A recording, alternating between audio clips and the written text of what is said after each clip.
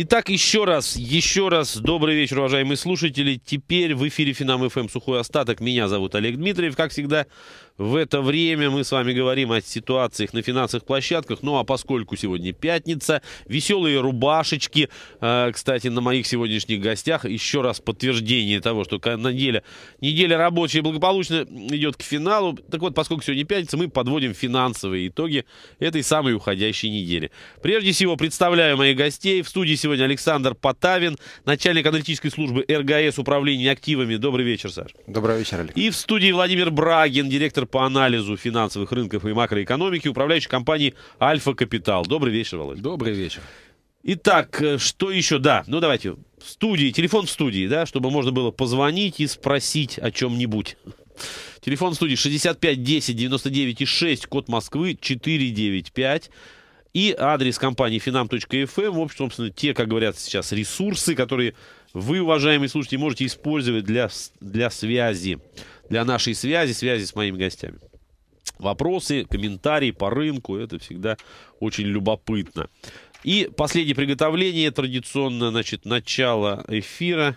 Я открываю и рисую картину маслом, что происходит сейчас на финансовых рынках в это время. Ну, давайте начнем с наших, наших, мы уже пожалели немножко, да, основные индикаторы отечественного рынка продолжают валиться, продолжают падать. Правда, все-таки небольшой отскок так, Э, начался, видимо, под закрытие сессии, краткосрочники фиксируются. РТС в моменте теряет э, процент и 7 десятых, 1408 вышел он уже э, практически, да, к 1400. ММВБ теряет чуть больше процента, 1385 его текущая котировка. Значит, что происходит на, на европейских площадках? Ну, в лице FTSE 100, там тоже отрицательная динамика, полпроцента теряет.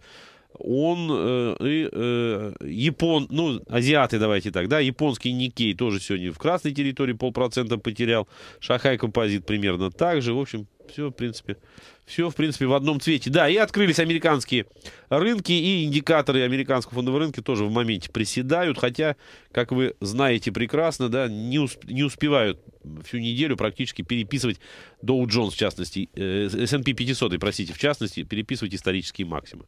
Но сейчас на открытии немножко, немножко приседают, посмотрим, что будет дальше.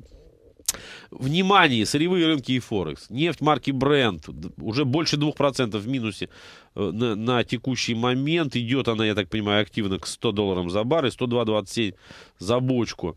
Сейчас торгуется этот инструмент. Золото сегодня в очередной раз пролили. Вышло оно э, или там да, э, показало э, максимумы ну, я посмотрел, за 9 месяцев получилось, да, с а с июля прошлого года.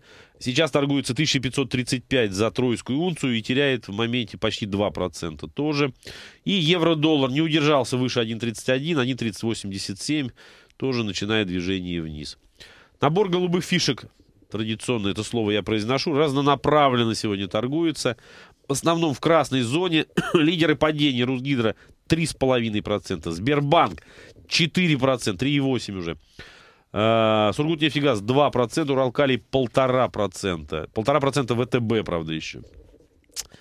Uh, лучший рынка сегодня АвтоВАЗ, почти 3% в плюсе. И, и, и НЛМК, да, проценты 3,1. Ну, Ростелеком тоже отскакивает уже после недавних событий. Половина процента он прибавил. Вот такая вот история. Ну, история такая несколько печальная, все-таки, мне кажется. Ну, если говорить о российском рынке. Ну что ж, давайте начнем разговор. Александр, с вас, если да. позволите, начнем сегодня. Давайте.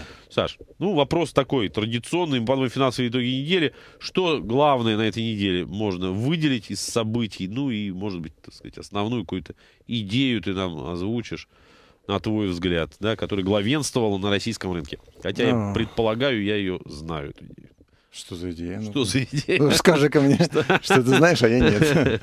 Ну, ты тоже наверняка знаешь, может быть, это... Володь, ну, идея на российском рынке какая? Какая, какая? Продай, пока про, не поздно. Про, продай, пока не Вот, вот, примерно об этом нет, Ну, на самом деле, сейчас, если так посмотреть, то, в общем, две идеи основные были, наверное. Да, первое, это то, что все-таки вообще развивающиеся рынки не очень хорошо чувствуют с начала uh-huh. года. То есть мы как-то вначале были чуть лучше, да, то есть мы как-то подрастали вопреки всем остальным. Uh-huh. Ну, потом, в общем, уже, по-моему, всех даже обогнали. А, второй момент все-таки, ну, понятно, что у нас тут а, Кипр каким-то макаром нас задел, да, еще, Мгм. наверное, отголоски все-таки дают о себе знать. Ну, по крайней мере, тот факт, что, в общем-то, спугнуло многих инвесторов, да, такое достаточно сильное движение, это факт. Ну и третий момент, это все-таки, опять же, да, ситуация с ТНК да, Мгм. то, что окончательно стало понятно, что, в общем, не увидят миноритарий дивидендов, да. ну и вообще, скорее всего, ничего. Надежды, надежды не оправдали. Да, ну там, конечно, есть там разговор о том, что может быть еще, но, в общем, я думаю, что сейчас все меньше и меньше людей в это верят. А, ну и в конце концов, там третий момент, это то, что там тот же «Газпром», да, как у некий показатель наших там всех остальных, то есть Чаяний. чаяний, да, Надежд которые, в общем, чаяний. не успевают обновлять, Минимум. как S&P, да, только да. минимумы, да. И тоже, собственно говоря, там причина следующая, что, в общем-то, компания, с одной стороны, вроде генерирует прибыль, вроде там даже какие-то дивиденды, Мгм. может быть, будут, да, то есть надежды. Но, с другой стороны, компания эту прибыль направляет на какие-то странные инвестиционные проекты, Мгм. которые, в общем, не факт, что окупятся. Ну и, собственно, не, ге- не генерирует, не генерирует из-за этого кэша. В общем, очень странное такое отношение к российскому рынку, да, то есть вот мне удалось просто пообщаться с разными коллегами, Мгм. а, что кредитный риск, кстати, окей. Мгм. Да, то есть облигации, вот никаких проблем, да, замечательно. Даже того, что там, не знаю, с удовольствием могут, можно брать облигации Газпрома и так далее, акций нет. Вот с акциями прям какой-то вот какая-то. Прям какая-то беда. Прям Да. какая-то беда. Да. Саша, извини, Да. пожалуйста, мы э, отвлеклись. Иде- С идеей не согласен ты этой? Не, ну какая идея-то? Понимаешь, э, Олег, э, если послушать всех, кто писал ресечи Ага. э, прогнозные на 2013 год в январе, Мгм. ну, всех план в громаде было. Да. Да. 1900, там 2000 пунктов мы увидим легко уже к осени. Все, Мгм. смотрите, какой бодрый старт. Уж Это- до мая-то точно порастем, Да, до ну мая. да, и тут вдруг опа, Да. и все закончилось, ралли пр- превратилось практически в обвал. Индекс э, энергетиков э, падает уже 11 недель к ряду. 11 недель. Ну, по-моему, такого не было вот со времен ну, кризиса. Ну, там, конечно, э, повод был, а сейчас вроде и цены нормальные, ситуация в экономике вроде как не, не такая, что люди, люди Ну, понимаешь, что на не демонстрации не, когда выходят, как бы заводы не закрываются, да, Да. а энергетика, понимаешь, падает 11 недель подряд. Ну, ну это просто безобразие. Вот. А, на мой взгляд, а, ну и Газпром тот же самый, да, Мгм. на минимумах там с, а, аж с весны 2009 года. Таких а, минимальных отметок там 100, 120 рублей, там Мгм. 125. Это не было вот с- именно с тех пор. А, на мой взгляд, мы имеем простую такую картину, не очень радужную из-за того, что а, эффект а, вот того, что у нас экономика находится на ручном управлении, все-таки достаточно высокая доля коррупции в экономике. Поскольку при, только при растущих ценах на нефть российская экономика способна что-то из себя представлять. По сути своей, а, без нефти она убыточна, по сути. Вот. Э, И поэтому с учетом того, что цены на нефть, да, буквально там еще там полмесяца назад были достаточно стабильны, там 110 были, но экономика уже шла вниз. Вот, поэтому, в принципе, живые деньги в экономике есть, но эти деньги, они, так скажем, ну, используются, мягко говоря, нерационально, неэффективно. И Не по поэтому- назначению. и, ну, ну, Не это, по ну, ну, ну, это вот просто безобразие уже. Ну, Безобразие. ну, ну, это вот э, количество а, негатива, которое плескает средства массовой информации по коррупции в экономике, по-моему, перешкаливает уже. А вот, парадоксально, и, да, И, и Ведь вот, пишут вот- о вот- вещах, которые вот, ну, я не знаю, должны, я не знаю, Да. приводить к каким-то вот вот эмоциям. просто пока... А и- мы просто сидим и хихикаем. Когда Смотри, как- есть, когда есть э, какой-то, еще раз говорю, позитив и на рынке сырья, и страны БРИК в моде, Мгм. на иностранцы на это могут закрывать глаза. Ну, как бы это ваша внутренняя проблема. Ну да. да. А Когда э, цены на нефть, мягко говоря, не растут, и при этом страны БРИК, вот, скажем, мода на них уже прошла, это видно, очевидно, за последние там полгода, год, вот, то, в принципе, ну, мы остаемся э, торговаться в своем собственном корыте. Поэтому на собственных деньгах. А на собственных деньгах мы, как правило, не уезжаем далеко. И Ну плюс и к этому и не резиденты. мелковато Нет, ну не резиденты. Вот сегодня в ведомостях очередная заметка о том, что с начала года отток уже составил там около миллиарда долларов. Ну, это, по-моему, такого не было вот с момента там 2008 года. Да, Поэтому... да. А кризиса нет в России. А отток капитала громадный есть. Вот мы имеем такой фондовый рынок. Да. Не, Ну, к этому можно добавить, кстати, по поводу, собственно, экономики. то, что вот этот пересмотр э, мэровских прогноза, Мгм. всего, там, когда, по-моему, вчера, сегодня, основные сообщения были. Э, ну, собственно, по сути дела, не растет ведь ничего, кроме импорта сейчас. Точнее, Мгм. не ускоряется. А экспорт встал. Ну, то есть, собственно говоря, цены на сырье стоят, соответственно, стоит и экспорт. А, потребление расти уже за счет кредитной экспансии не может. Просто по той простой причине, что уже население наше несколько закредитовано, мягко Мгм. говоря. А, Ресурсы людские заканчиваются уже, да? ну да, то есть э, эффект отложенного спроса тоже уже себя исчерпал, да, по сути дела, который там было сжатие спроса там, в 2009 году. А, инвестиции, в общем-то, тоже не очень хорошо себя чувствуют. И самое как бы противное в этом ситуации, да, что быстрых мер решения этой проблемы нет. Мгм. Потому что даже снижение ставок, это оно, как бы оно напрашивается, да, Мгм. в случае снижения экономики, Мгм. замедления течения экономики, э, мне кажется, вот всех проблем далеко не решит. То есть, да, оно может создать какой-то небольшой импульс, там, да, то есть дать какие-то условия создать, но а, вот общий, по-моему, консенсус такой, что, в общем-то, пора что-то решать уже э, более глобальное. Да, имеется все-таки делать структурные реформы, все-таки Мгм, коррупции, мгм, там, не знаю, мгм. приватизацию, наконец, сделать. Мгм. Да, там, не, огба- не оглядываясь на рыночные цены этих активов. Ну да. Хорошо, значит, мы сейчас давайте прервемся, послушаем новости, а потом продолжим. продолжим. Ну что ж, продолжим эфир. Сухой остаток на Финам ФМ. Меня зовут Олег Дмитриев. Сегодня в гостях Александр Потавин, начальник аналитической службы РГС Управления активами, и Владимир Брагин, директор по анализу финансовых рынков и макроэкономики, управляющая компания Альфа Капитал. Ну, мы пытаемся подвести финансовые итоги недели. А, Вот, пока не очень удачно у нас это получается, потому что, собственно, итоги-то такие печальненькие, да? Нет, ну, итоги мы подводим успешно. А, итоги подводим успешно. результаты итоги просто, да, итоги такие. Я, извини, да, я был некорректен. Продолжим подводить финансовые итоги. Если не возражаете, давайте два слова скажем а, о начавшемся сезоне отчетности э, в, э, в Америке. Ну, не так много, да, еще компания отчиталась, но в любом случае это такой серьезная какая-то, да, временная перспектива для того, чтобы и что-то и на американских площадках происходило, ну и мы как на это реагировали. Володь. Не, ну, собственно, нынешний сезон отчетности, он важен как бы с той точки зрения, что все-таки S&P на хаях, Да. и для этого, конечно, для подтверждения того, что все-таки рынок может расти дальше, нужны все-таки подтверждения того, что компании могут действительно зарабатывать нормальные деньги. Мгм. Поэтому, конечно, с точки зрения рисков, да, вот э, здесь как бы может быть имеет смысл даже проявить какую-то осторожность, потому что, хотя, да, начало достаточно бодренькое, да, то есть сегодня там честные два банка читалось очень хорошо, да, Мгм. та же самая Алкова, там, которая первая отчитывается, тоже замечательно отчиталась. А, но, в общем, все равно, да, там он еще не закончился, будет длиться еще какое-то время, и Мгм. здесь, конечно, в общем, для инвесторов могут найтись неприятные сюрпризы. А может и приятные, кстати. Мгм. Вот. Тут, в общем, надо отметить, да, что все-таки американский рынок, несмотря на то, что там исторический максимум, он далеко не перегрет по мультипликаторам, и, в принципе, э, в условиях там хороших данных и всего остального может расти дальше. Вот. Хотя, конечно, сегодня вот был неприятный сюрприз немножко с другой стороны, как раз с данных. Да? То есть, собственно, сегодня у нас S&P даже открылся в минусе, в том числе из-за того, что, в общем-то, вышли не очень хорошие данные по розничным продажам. Мгм. Вот. И здесь как бы такой момент, что э, идея того, что как бы успешно прошли вот этот вот фискал клифф, да, там без последствий для экономики, Мгм. э, есть такое ощущение, что это просто, может быть, не- недостаточно время прошло для Да, того, да, чтобы да, это все чтобы почувствовать. Это, конечно, риск, да, Мгм. то есть понятно, что ближайшие там два месяца, наверное, будут такими очень решающими для Не- там, нервозными, да, все время будем да. смотреть, да, получилось, не получилось, там как. Вот, но пока как бы эта нервозность не мешает американскому рынку Да, расти. да, да, да. Несмотря ни на что, что называется. Саш, Там. как ты смотришь на перспективы а, сезона отчетности, ну и в связи с этим на перспективы американского роста, роста? А, Олег, вот я с Владимиром согласен. А, Да, действительно. А, Ну вот смотри, ну было бы сложно предполагать, что банки отчитаются плохо. Сегодня JP Morgan Chase отчитался, Wells Fargo читались неплохо.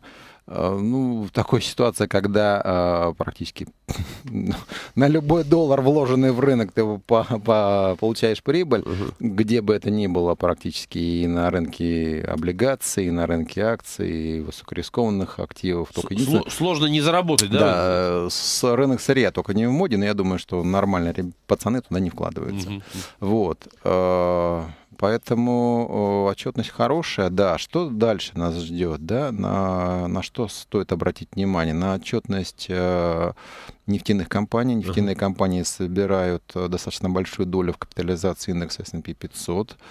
А, и плюс к этому, я думаю, что стоит, наверное, ждать неприятных сюрпризов от э, высокотехнологичных гигантов, э, поскольку вот последний несколько дней назад видел релизы по поводу продаж компьютеров uh-huh. персональных, вот этих средств коммуникации. Они, конечно, э, темпы продаж снижаются, и, наверное, где-то, вот я думаю, что какие-то мы сюрпризы неприятные в этом увидим. Поэтому отчетность Hewlett Packard, IBM, Э, Texas Instruments, угу. AMD, ну, вполне возможно, там какие-то интересные, может быть, там такие вещи мы увидим. И плюс к этому нефтянка, конечно, потому что нефтяной сектор не рос в, с начала года, по сути, своей нефти, что в Америке, что в, ну, вот это, вот, что легкая американская нефть, что североморская нефть, они, по сути, своей торговались без тренда, и, наверное, все-таки Э, так э, нефтяные компании ну, не должны показать высоких результатов, если только они не опять в очередной раз не сократили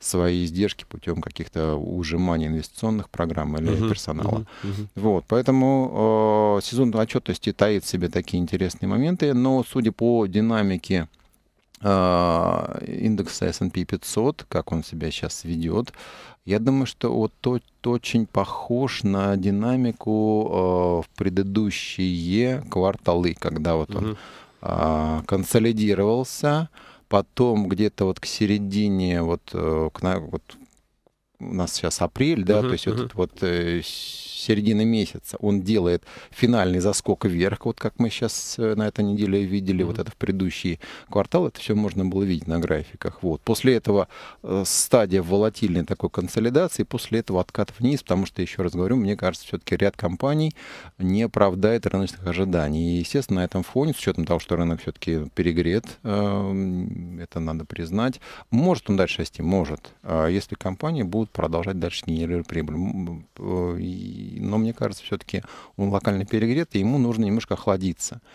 А, как всегда, есть на рынке фаза распределения, фаза роста, ну, фаза, да, да, фаза накопления. Угу. Вот. Я думаю, что просто-напросто он сейчас находится в фазе распределения. Какое-то время будет отходиться, когда из акций будут выходить те э, инвесторы, которые покупали их раньше, будут э, рынок поддерживать какое-то время угу. те игроки, которые будут ждать продолжения этого роста, потому что всем хочется вложиться в растущий актив. А крупные деньги любит э, тот актив, который растет в цене. Слабый рынок, как вот наш, там Бразилия, никто не хочет покупать, потому что он слабый. Ну, что туда вкладываться, да? Угу. Вот. Даже разбираться не стоит там макроэкономики, смотреть какие там Согласен. внутренние болячки, еще что-то такое. Если рынок слаб, ну зачем я буду туда лезть? Я на этом, скорее всего, потеряю. Пока тренд не переломится, а слома тренда ни в Бразилии, ни у нас пока нет. Поэтому что туда вкладывать деньги? А в Америке слом, этот, слом, слома растущего тренда даже не пока даже рядышком не стояла. Вот. Поэтому, соответственно, часть инвесторов всегда будет подбирать э, снижающиеся активы. Угу. Вот на этом фоне можно легко разгрузить свои инвестиционные портфели. Понятно. Понятно. А, говоря, э, упомянул Саша, да, ну, в контексте американского рынка, нефтяные компании, стоимость нефти, вот говоря о стоимости нефти, нынешнее снижение там ближе к 100 уже, э, на твой взгляд, Володя, какое имеет ну, краткосрочный предел? Ниже 100 уйдет бренд или Не, ну, в принципе, может ненадолго сходить, как это было там в прошлом году в том числе, да, но вообще там, если смотреть на диапазон 100-120, в общем-то, это такой уже, мне кажется... Ну, то есть сейчас она идет к нижней границе ну, диапазона? Ну, просто, откуда... да, пока идет к нижней диапазоне. То есть пока картинка, она не поменялась, да, мы видим снижение, но пока она идет в рамках коридора, и как uh-huh, бы, ну, uh-huh. беспокойство пока не вызывает. Uh-huh. То есть если, конечно, она идет ниже и там закрепится, это уже, конечно, будет такой тревожный звоночек. Но пока, вот, к счастью, я э, не вижу пока причин для беспокойства. Риски, uh-huh. да, конечно, возросли, что да, раз мы не около нижней границы коридора, то, естественно, вероятность того, что мы его пробьем сейчас больше, чем когда было 110. Ну, uh-huh. как бы это не более того. А на чем сейчас вот падение нефтяных контрактов мы видим, как ты думаешь? Ну, собственно, общая ситуация, мне кажется, в экономике, да, то есть если посмотреть на... Ну, как Саша сказал, нормальные пацаны не идут в сырье сейчас, да, и в промышленность. Ну, просто сложно ожидать, да, что нефть там вырастет в ближайший там за год, там, не знаю, еще плюс там 10%, 10-20% даст, да ну, в общем, там много не заработаешь уже, да, плюс, опять же, да, такой вот потеря вот этой вот моды, да, на комодите, опять же, то же самое золото, да, там как-то уже, вот, uh-huh. особенно с перспективами там продаж его из запасов центральных ну, есть, банков. Да, комодити не стали модными, а, а стал модный, кто, кто стал модный сейчас? А? Developer market. Development markets. Ну и, наверное, облигационные рынки, если Ага. говорить про emerging markets. да. Мгм, мгм. Ну, вот, собственно, все. А что касается раз- комодов, да, ну, понимаете, проблема в том, что здесь такой цикл, что экономика слабая, да, рост цен на сырье, если она будет идти Ну да, в рамках будет слабой Они нам будет тормозить рост экономики, соответственно, это будет уже сказываться и в том числе обратно э, на снижение цен сырья. То есть вот при слабой экономике расти сырье особо сейчас просто некуда. Китай не поддерживает сейчас, нет? Никаким Э, образом.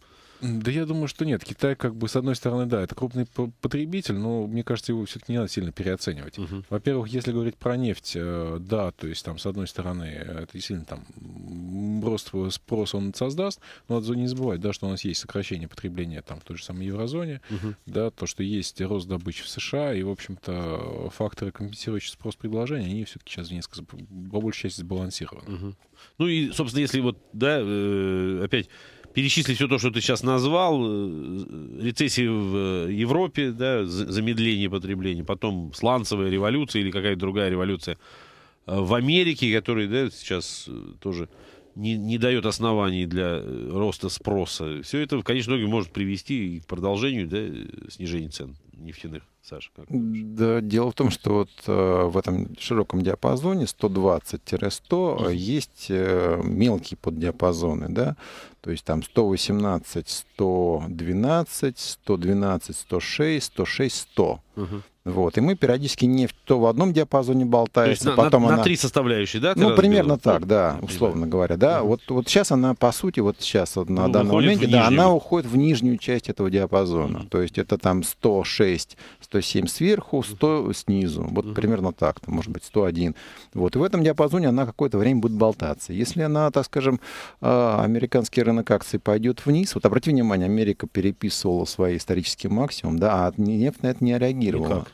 Вот. Потому что обычно, когда все-таки есть спрос на нефть, есть э, покупки в этом активе со стороны инвесторов, Ага. а, именно спекулятивные покупки, то все-таки они коррелируют это движение, да, С, то есть рынка- с рынком да, акций, да? прич- да, причем очень интересная вещь такая, что а, видишь, как и сейчас и золото снижается, промышленный металл тоже стагнирует. И, Мгм. э, в принципе, э, наверное, все-таки инвесторы как-то разделяют, разделяют сейчас а, фондовый рынок раз, с одной стороны, сырьевой, с другой стороны, и реальную экономику с третьей стороны. Мгм. То есть фондовый рынок и реальная экономика в Америке Это разные вещи. это разные вещи. В Европе фондовый рынок и фондовые индексы это Мгм. тоже разные вещи. Я понял.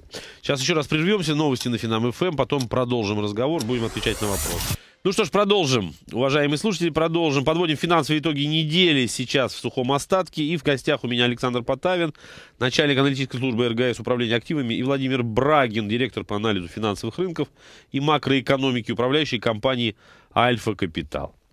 А, Ситуация более-менее понятна, ну, как минимум, с точки зрения да, того, что происходит в Америке. Там все хорошо, боже мой, как это, с завистью я сейчас произнесу. Как всегда, у них Везет же людям. А, везет же людям. А мы-то надеялись, что они загнивают, и за- загни... а нет, вон что получилось. Кстати, вчерашний гость, я так проанонсировал, да, за кадром, смысле, за эфиром сказал ему. Вот он вчера тоже э, по пару раз по- повторил, что локомотивом мировой экономики будут Штаты как раз. Мы там надеялись на, на то же Китай. Китай нас вытащит. Нет, говорит. Соединенные Штаты Америки будут впереди планеты всей. Давайте вернемся к российскому рынку. Еще буквально два слова, Саш. Что происходит сейчас на отечественном фондовом рынке? Идейки какие-нибудь, может быть. Все-таки ты назовешь или уже не будешь? Нет? Нет? А какие идеи-то? Ну, ну, у нас, видите, как, э, Олег, получается, а, если посмотреть на срез а, отраслевой, у нас просто на экране Блумберга, прямо в режиме реального времени, а, значит, м, по оси отложено, значит, индекс МВБ Ага. и его отраслевые составляющие, вот разным цветом, вот этот веером таким, да, вот энергетика, это просто вообще вот такая кривая Вниз? да, под 45 градусов вниз. Потребительский сектор единственный, который у нас, вот так скажем, является сейчас защитным. Мгм. Почему? Потому что, во-первых, потребительский сектор, э, он имеет все-таки сейчас э, неплохие позиции из-за от- отголоска того кредитного, э, той кредитной накачки, которую мы видели вот в конце прошлого Мгм. года. Все-таки компании продолжают расширять свои линейки, продуктовой линейки, продолжают развивать свои розничные э, точки угу. для того, чтобы увели, вот, как бы собрать еще отголоски вот того угу. спроса на деньгах от населения. Угу. Вот. Но с учетом того, что все-таки, мне кажется, в, в, в экономике России растет скрытая безработица, то есть те данные, которые по безработице публикует Госкомстат, я как-то им, честно говоря, не очень верю есть вот даже просто среди моего круга знакомых очень много людей, которые сидят без работы, угу. но об этом не заявляют, на бирже труда не становится. Таких людей, к сожалению, ну, практически из месяца в месяц становится все больше и больше. Вот. И людям они, достаточно сложно найти их, работу. Их увольняют или они по, по Ну, по каким-то, по каким-то причинам. По нет, причинам. нет, по разным причинам. А кому-то там что-то там хочется перейти на новое ну, место, понятно. не получается, еще что-то такое. Достаточно много таких людей уже. Просто, я говорю, даже вот по ощущениям, по личным. Вот, а, значит, э, это что касается а, безработицы, да, и какие-то идеи давать, ну, давайте покупать растущий сектор, ну, давайте, ну, просто что, что из него можно выжить еще, mm-hmm. ну, вот, честно говоря, я пока не, не, не вижу. Даже, допустим, то же самое лидер Магнит наш, а, он по мультипликаторам там уже, я не знаю, там уже скоро Walmart догонит. Вот. Единственная действительно сильно растущая компания, но даже на ней уже при, по, по, вот по последней операционной отчетность, которая выходила по компании, показала, что, э, в принципе, уже не столь высоки динамика продаж, а, и, в принципе, и издержки достаточно высокие на открытие новых магазинов. Mm-hmm. И вот эта вот экспансия, которая проводит сейчас компания, она может потом ей обойтись боком, когда вдруг э, внезапно все-таки цены на нефть опустятся еще больше, государство ужмется в своих расходах, mm-hmm. и население еще раз застужит, затянет пояса. И вот эта вот громадная сеть магазинов с большим количеством товаров, накопленных э, на кредитные деньги, она, к сожалению, вот потом может выстрелить в обратную сторону. Просто когда ракетой вверх растет стоимость компании, ну, как-то это немножко настораживает. Не является ли, не, не находимся ли мы в финальной стадии роста? Вот. А в целом, э, я думаю, что защитным сектором сейчас вот единственное, кто может более-менее так неплохо себя чувствовать, это телеком всякие uh-huh. там вот Мегафон, МТС. Я думаю, что вот эта вот эпопея с Ростелекомом, создание четвертого сотового оператора, я думаю, что она еще достаточно далека от э, реального воплощения, и там ну, еще пройдет достаточно много времени, пока этот эффект вот наличия четвертого конкурента будет скажется на финансовых показателях вот этих вот наших крупнейших менеджеров. Я бы, я бы. Володь, добавь что-то по идеям на отечественном рынке, на твой взгляд. Ну, в акциях имеется в виду, да? Ну, и в, в акциях в том числе. Ну, собственно говоря, тут я полностью соглашусь. Э, вот, э, действительно, там, потребсектор, это все подобное. Мне кажется, здесь, в общем-то, если посмотреть так на несколько другой стороны, на рекомендации, да, тут все очень просто, да. Там покупать там, где поменьше государства угу. и более-менее внятный стабильный рынок сбыта. Все. То есть металлургов как раз-таки вот их очень из-за этого не любят, потому что рынок. Энергетика, там все-таки эффект государства очень большой в части регулирования, uh-huh. в части собственников. А нефтянка, ну, опять же, да, если посмотреть на те компании, которые, в общем, вне э, собственности государства, они, в принципе, там плюс-минус смотрятся неплохо, да, uh-huh. даже, в общем-то, э, те же самые дивидендные бумаги, да, они, в общем-то, даже Татнефть или Сургутнефтегаз, Преф, в общем-то, несмотря, да, на коррекцию, которую их тоже затронул, в общем-то, мне кажется, вполне на себе нормальная идея. Ну, а потреб, соответственно, да. То есть э, здесь, да, есть риск, конечно, в случае там снижения цен на нефть, но, опять же, да, там на фоне остальных бумаг, если смотреть так относительно, да, то, в общем-то, мне кажется, вполне себе хорошая идея. Угу. Я понял. Так, ну хорошо, хорошо. Не буду вас больше мучить. Идей немного, поэтому что тут говорить об их отсутствии. Давайте, у нас есть вопросы, но их тоже в последнее время не так много, наверное, по той же самой причине. Э, вот Андрей, ну это скорее комментарий, да, вот, по поводу того, о чем мы говорили чуть выше. Э, пишет Андрей следующее. В 2013 году свалимся в стагнацию, рост ВВП снижается, ставку держим на, на 8,25. Что делать? Что делать? Ну, это риторический вопрос, что делать. Ну, Глаз вопиющего. Не, ну это как напоминает, там шеф клиент уезжает, гипс снимает. Да-да-да, все пропало, все пропало. А, на самом деле, мне кажется, вот, э, не знаю, тут все-таки, конечно, не так все плохо. Все-таки есть одна, один позитивный момент в том ключе, что, в общем-то, Потому что правительство явно сейчас э, зашевелилось, начали как-то думать, что это, собственно говоря, делать. Мгм. Да, потому что, да, там понимают, что, в общем, при том подходе, который был, в общем, достичь тех целевых показателей роста, их, наверное, не будет невозможно. Вот это внушает определенный там, оптимизм, да, потому что, может быть, все-таки действительно будут проведены какие-то правильные реформы. Мгм. Вот честно, мне импонирует одна вещь, да, это приватизация. Да, но приватизация не так, как, то есть без оглядки на уровень рыночных цен. То есть здесь вот, мне кажется, вот неправильный приоритет, что давайте подождем хороших цен и так далее. А, вот тут замкнутый круг получается. Да? С одной стороны, высокая доля государства, она является демотивирующим фактором. Да? С другой стороны, а, при высокой доле государства мы ждем, когда же все-таки дело само подрастет, чтобы мы его продали дорого. Да? Мне, это, кажется, это, по большому счету пр- просто, да, не... мне кажется, это абсолютно неправильный, неправильный подход, да, Мгм. потому что все-таки задача, мне кажется, в том, чтобы действительно снизить долю государства в экономике. Мгм. То есть сделать то, что называется денационализацию, так называемую. И, в общем-то, действительно перейти, уйти от того, от именно ручного управления экономикой. Мгм. Потому что это все-таки модель, мне кажется, не работает. Хорошо, еще один вопрос. Еще один вопрос. Э, Ну, еще раз повторю, не совсем он, да, э, так сказать, относится к рынку акций, но тем не менее, Гульнара пишет, стоит ли избавляться от купюр в 500 евро? Вот такой вот вопрос. А, а- а что, в Еврозоне Павловскую реформу? Неожиданно, не, не знаю. Ну, давайте я, я предположу, что имеется в виду. Ну, с другой стороны, почему именно в 500 евро, я не совсем понимаю.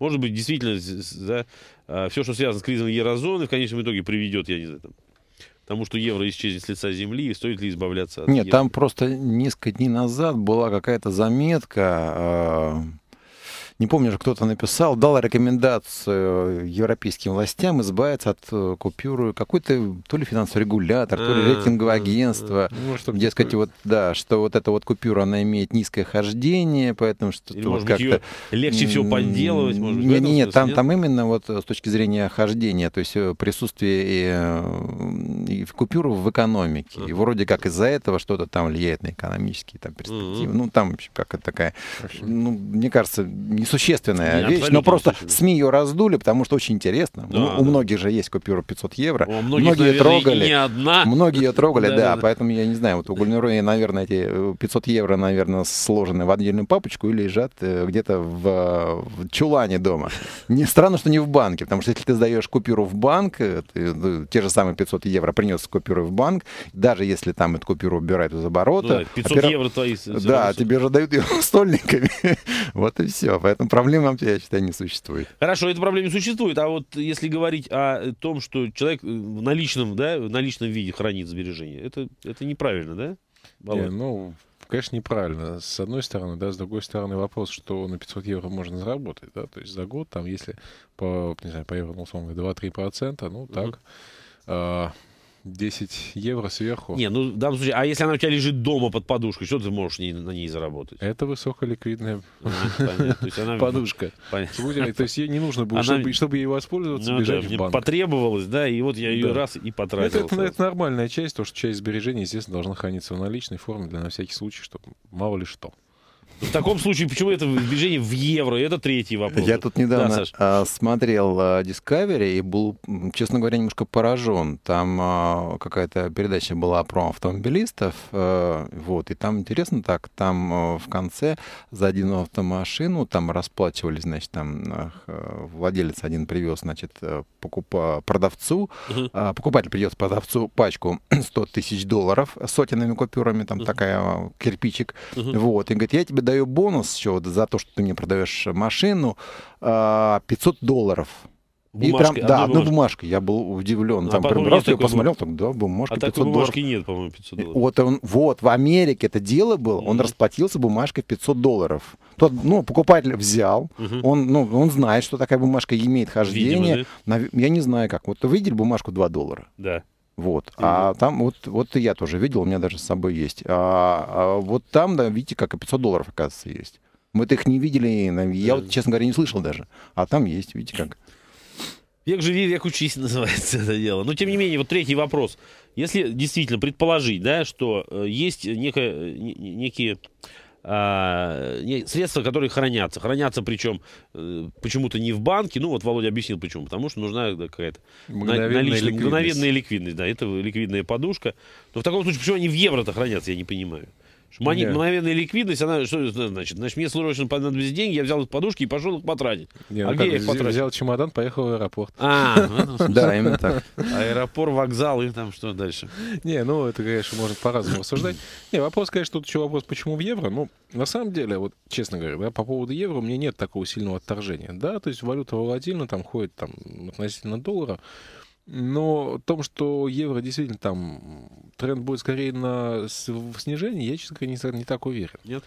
Я согласен. Потому что банальный макроэкономический такой факт, да, то, что посмотреть на счет текущих операций еврозоны, да, он очень хорошо поправился за последние два года. Очень хорошо. Причем такого на этом уровне он не был там никогда. Что это означает? Это означает, что в еврозону приходит больше валюты, чем уходит. Мгм. Да, Мгм. там можно, конечно, смотреть по там, другим вещам, да, там, куда там к счету капитальных операций, поток капитала, но при прочих равных евро, в принципе, выглядит неплохо.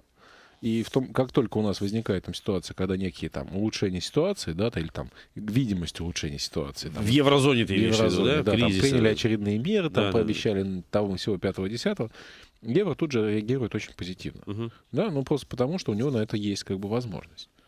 Вот, э, поэтому... То есть, в принципе, можно сказать, что он не растет, но если мы говорим, что он падает, он не растет, потому что нет позитива. А вот как только позитив, э, лю- любой маломальский, да, ну, и он начинает сразу... Ну да, как, то есть, по сути дела, да, он, конечно, расценивается как такая рисковая валюта, индикатор там риска, да, Мгм, но мгм. э, как бы не более того. Да, то есть там тренд такого устойчивого и там фундаментальных Да, да. факторов на его Ну и снижение. потом он наверное, отскакивает нет. достаточно серьезно последние несколько недель. Сейчас еще раз новости на Финам ФМ. Давайте потом продолжим. Ну что ж, последняя часть эфира, 12 минут у нас осталось. Мы продолжаем подводить финансовые итоги недели, и у нас это замечательно получается, на мой взгляд.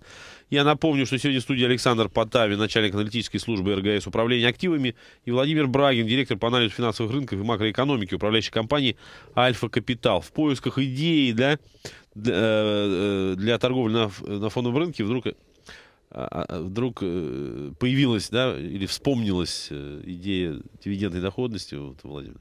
Да, ну это, кстати, я да, вспомнил один момент такой, который нужно все-таки учитывать в части майской коррекции нашей, привычной, да, потому что, ну, есть такой... нюанс. Начавшийся в, в марте, да, или когда? В апреле. марте. Ну, вы знаете, там любопытный момент, то, что в девятом году она там, или в каком, десятом году она началась там, по-моему, почти в мае, на следующий год она на неделю раньше, раньше, да. потом на две недели раньше, там, а, или там на сколько, то есть как-то Мгм. каждый раз Ну, это тренд в любом случае. Это тренд. время. Сейчас она как-то сместилась сразу на полтора месяца.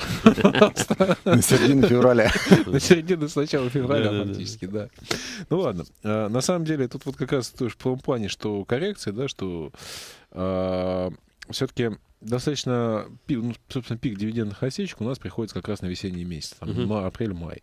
Вот. И проблема-то как раз в том, что у нас а, многие скажем так, ну, даже и наши фондовые индексы, они учитывают, считаются без учета дивидендов, и зачастую там некоторые там серьезные движения по отдельным бумагам, которые воспринимаются сильно, там, особенно с помощью технических алгоритмов, как Мгм. сигнал, там, не знаю, наверное, каких-то решительных действий, да, очень часто является просто признаком того, что бумага прошла отсечку, поэтому ее цена переставили вниз, Это как что является естественно. Мгм. Вот, поэтому этого бояться не надо, да, потому что сейчас действительно могут быть сильные движения там по многим при- привилегированным акциям, да и, собственно, и по обычке.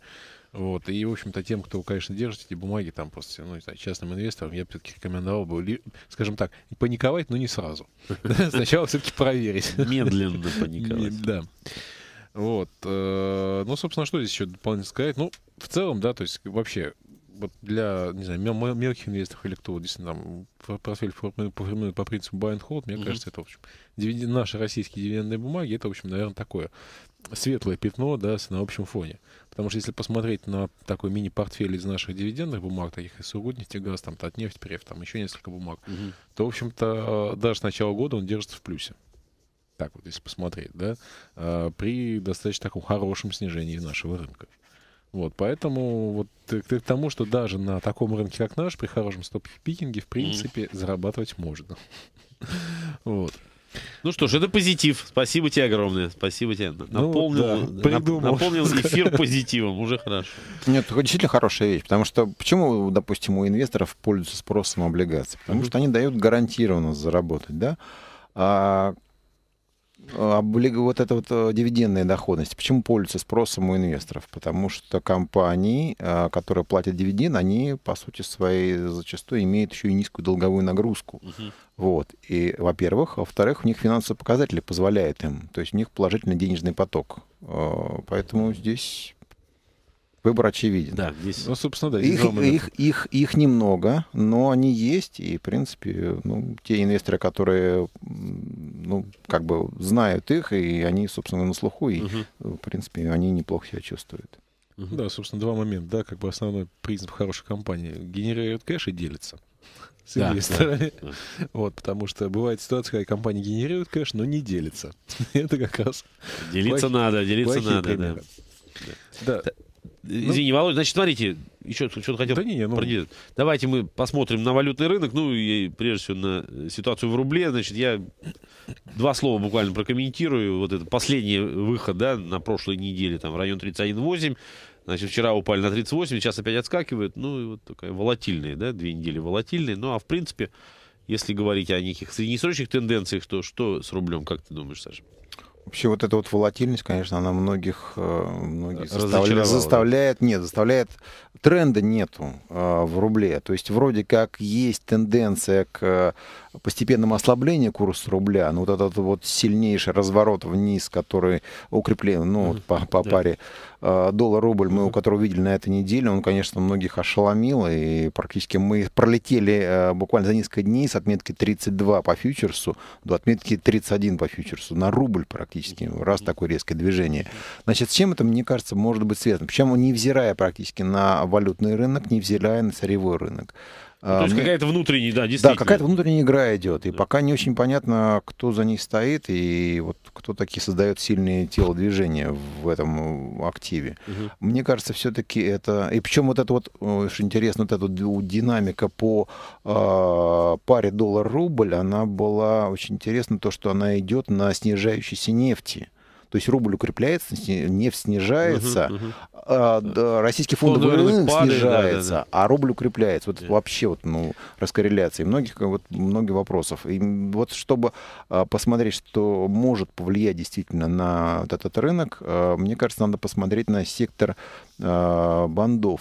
То есть это облигации корпоративные, государственные. Мгм. Если посмотреть, то, в принципе, вот именно вот это вот укрепление, оно совпало с тем, что повысился спрос, опять пошли вверх цены на банды. То Мгм. есть, э, мне кажется, этот спрос шел со стороны нерезидентов.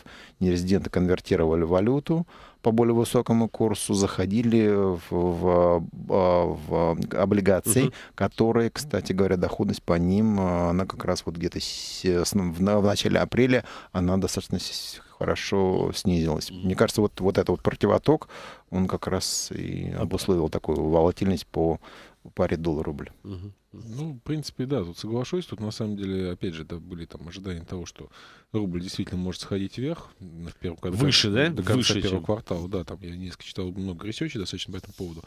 А, и, собственно говоря, там аргументы были следующие, да, то есть, собственно, у нас сложилась фундаментальная ситуация, да, в том, что у нас прошел уже пик э, скажем так, чисто, показатель чистого экспорта, который приходится обычно первый квартал, да, еще Мгм. текущих операций там из-за сезонного замедления импорта. А потом у нас на апрель приходился пик платежей по внешнему долгу.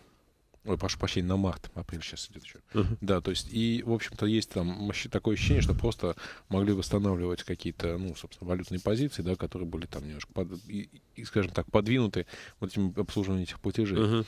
А, третий момент. У нас в первом квартале был сильный отток капитала. Кстати говоря, где, скорее всего, во многом он был связан и в том числе и с обслуживанием внешнего долга, да, что, собственно, как-то вот, видимо, подзабылось. Тут, конечно, может быть, данные ЦБ немножко уже были устаревшие, но тем не Ага. менее, да, собственно, там, по его данным, там, которые были за несколько месяцев, то есть, если у нас обычно на обслуживание внешнего долга идет, там, я имею в виду компании, банки, Ага. правительства, да, где-то примерно 6-7 миллиардов в месяц, процентные платежи плюс основной долг, то в марте там было 22 миллиарда. Да, то есть я еще очень долго ждал, когда же в марте мы все-таки сходим вверх, там, ну, сходили вниз, там, вверх, там, Чуть собственно, позже. чуть позже, да. позже, да. Но сходили, собственно. Да, сам- еще был повод один, да, это вот, собственно, та идея о том, что Минфин хочет сам приобретать валюту, Мгм. золото-валютные ре- фу, ты, в резервные фонды на открытом рынке. Мгм. То есть если сейчас фактически он покупает ее ЦБ, да, то есть, ну, просто ну, фактически там перекидка между счетами, то сейчас Минфин хочет это делать э, напрямую на открытом рынке. Честно говоря, мне не совсем понятно, зачем это нужно, да, то есть формально, да, потому что, в принципе, э, это приведет, ну, единственное, что для чего это, как, такой вот причина, да, может быть, конечно, я там копаю слишком глубоко под одеяло, что называется, лезу, а, но это может быть ситуация в том, что просто такая завуалированное ослабление рубля, Мгм. потому что если ЦБ не будет выходить со встречными интервенциями, Мгм. то это, соответственно, создаст дополнительный спрос на иностранную валюту, соответственно, предложение рублей, у нас будет чуть лучше ситуация с ликвидностью с рублевой, но при этом рубль будет снижаться. Мгм. В принципе, это не так плохо, на самом деле, да, потому что ослабление рубля, да, это, мне кажется, даже может быть более полезная вещь, чем э, процентное снижение, Снижение процентных процентов. ставок, да. Ну, посмотрим, да, то есть тут, в общем, ситуация непонятная, я думаю, что это там вопрос не ближайших даже двух месяцев, наверное, скорее там 3-4 месяца нужно. Ну, а если говорить о снижении рубля, даже вот ближайшие два месяца, да, ослабление, Вот. То снижение. есть, как бы, исходя вот из этого, я все-таки жду, что до конца года будет все-таки ослабление рубля. Ну, вот до каких пределов? Сложно сказать. Тут вопрос, в общем, там такой вопрос регулирования, Мгм. опять же, отношений ЦБ и Минфина. Сейчас я пока не готов ничего здесь сказать. Мгм. В ближайшее время, а с учетом того, что мы видели действительно там повышение импорта, да, а, поток капитала, опять же, с учетом пика платежей по внешнему долгу, я думаю, там ничего страшного мы не увидим, да, то есть каких-то серьезных там колебаний не видим. Но, э, и опять же, да, Евроклир, и, наверное, все-таки начнут приходить какие-то long-only money, да, Мгм. там, в э, ОФЗ. То есть имеется в виду такие вот длинные деньги, да, там, что называется, которые долго-долго решают, пока, да, там, зайти. Поэтому я ничего страшного по рублю не вижу. Я думаю, что таки будем флет какой-то такой, ну, с волатильностью. Ну, вот последний, да, последний максимум вот это 32. Э, Есть основания, что мы его там перепишем, надолго переш- пере- перепишем, уйдем там в 33-35, Саша? все будет зависеть от а, текущей расстановки в ценах на нефть и по паре доллар-рубль. Ой, доллар, Евро-доллар. и- евро-доллар, да, Мгм. вот и все. То есть мы когда все-таки вот у нас снижение, вот сейчас вот, по-моему, тенденция опять наметилась еще одна волна вниз Мгм. по паре э, евро-доллар вот под конец недели. Если э, евро-доллар мы увидим э, ну где-то к в конце в конце апреля на уровне опять где-то там ниже уровня 1.30, Мгм. ну вполне возможно мы опять к 32 Сходим вернемся. туда. Мне кажется, мне кажется, что вот, э, вот такая ситуация, когда э, вот мы увидели резкий всплеск э, по паре доллар-рубль, Мгм. потом была коррекция, достаточно сильная вниз на, Мгм. к уровню 31. Вот если посмотреть, опять же, на график, на длинный, да, то, в принципе, э, вот, таки, вот такое движение вверх, а может быть еще одно движение вверх, которое перепишет вот этот максимум 32. Мгм. Потому что, еще раз говорю, в экономике не все хорошо. А, цены на нефть, не дай бог, уйдут там ниже отметки 100 долларов, еще и евро-доллар там а ниже 1.30. Э, То, в принципе, есть предпосылки тому, что будем еще повыше. Ну, то есть, если Поэтому- говорить опять о, наборе вот этих факторов, да, мы говорили, что нелогично, что рубль укрепляется последние несколько дней. Совершенно верно. всё, да. А А, вот то, что что- он будет ослабляться, это как раз логично. если Падающие цены на сырье Да. и крепкий рубль убивает прибыль экспортеров Мгм, российских. мгм. Это нефтяники, металлурги, ну а Конечно. им-то жить на что-то надо. Поэтому, Да, в принципе, бедолаги. ну, им ЦБ, я думаю, должен пойти навстречу. Ну, я думаю, что пойдет. Ну, если, конечно, не останется вот там верным своей, скажем так, предпосылки. Ве- Верным своему курс. слову, да, Да. слово. Инфляция прежде всего. Друзья мои, спасибо. Собственно, пятница, еще раз напомню, мы подвели финансовые итоги недели. Для уважаемых слушателей я хотел бы проанонсировать. Дело в том, что со следующей недели меняется сетка вещания, и бизнес-канал будет выходить в другое время с 3 до 5. Сначала с, пи- э, с 3 до 4 будет сухой остаток, а потом с 4 до 5, да, да, будет бизнес-класс. Вот в таком формате. Какое-то время мы просуществуем. Если все будет хорошо, то будем жить дальше. Главное... А? Закрепимся на Зафи- этом. Да, да, совершенно верно. Пробьем и закрепим. Ну и э, на, на- на прощание, да, напоследок, представлю еще раз моих гостей. Александр Потавин, начальник клинической службы ГАИС управления активами, Владимир Брагин, директор по анализу управляющей компании «Альфа Капитал». Спасибо огромное, успехов на рынке, до свидания.